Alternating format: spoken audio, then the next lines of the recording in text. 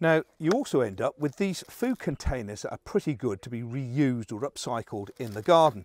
Uh, this one happens to have strawberries in, but you can use the microwavable containers once you clean them up.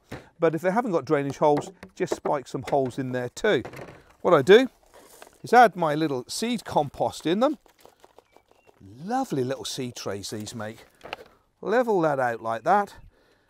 Ideal for then sowing over the top and making sure that this, rather than go in the recycle bin, ends up going in the greenhouse.